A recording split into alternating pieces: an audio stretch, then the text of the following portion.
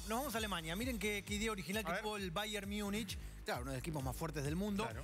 que había hecho bufandas para su partido de Champions League con el Chelsea y las recicló esas bufandas, que no pudieron ser usadas, no pudieron ser vendidas. Obvio.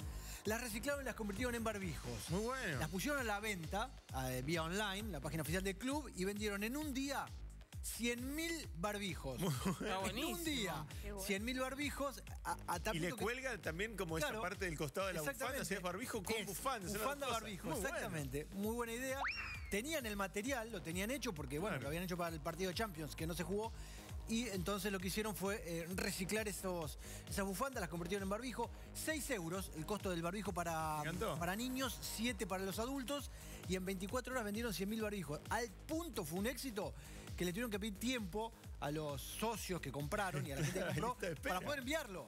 Para poder enviarlo. Digo, Tengan Claro. paciencia con el envío, porque son tantos los envíos que hay que hacer que, bueno, rompieron todos lo- lo- los pronósticos, lo que ellos tenían pronosticado vender, ¿no?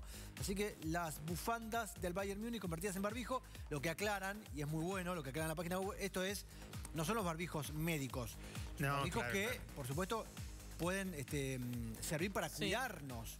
Pero Sí. bueno, que, Pero es que- como los que, como los que, los que se- usamos, los que se hacen en casa también. usamos todos los días. claro. caseros, exactamente. Es que va a haber ya, en cualquier momento van a hacer acá en Boca, River, merchandising Estaría oficial. bueno, sí. oficial, claro. Bueno, yo vi algunas cosas ahí en tiendas online. Que Claro. Con dibujitos o con, no, viste, este, acá, bueno, Tincho Magali, el este, sonidista, ayudante de cámara, este, también siempre anda con unos que tienen un...